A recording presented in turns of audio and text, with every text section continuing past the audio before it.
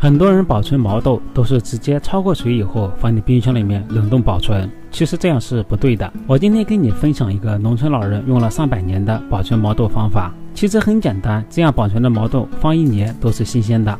这一个方法，每到这个季节，十里八乡的人都会去跟他学。我们在剥毛豆的时候，如果中间有这种坏掉的毛豆，我们一定要给它扔掉。如果放在一起保存，很容易坏，保存不了多久。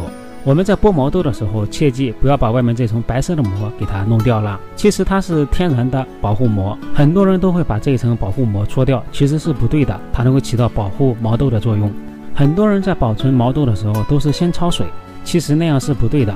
焯过水的毛豆很容易走味儿，而且吃起来没有毛豆的清香味儿。炒过以后吃起来水了吧嚓的，主要是焯过水的毛豆，它的营养会流失。正确的做法是在毛豆的里面喷上一点高度白酒，不需要太多，喷个几下就行了。喷上白酒以后，这样能够很好的给毛豆杀一下菌。这样我们在保存毛豆的时候，保存个一年它都不会坏，照样新鲜。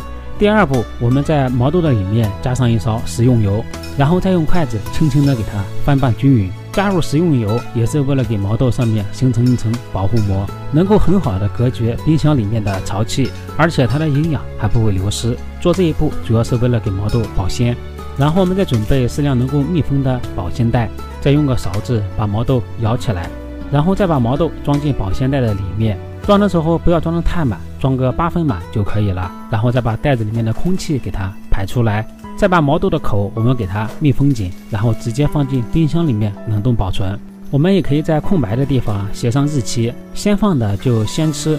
你按照我这个方法保存的毛豆，保证吃的时候就像新鲜的一样，而且能够保存很长的时间，基本放个一年没有问题。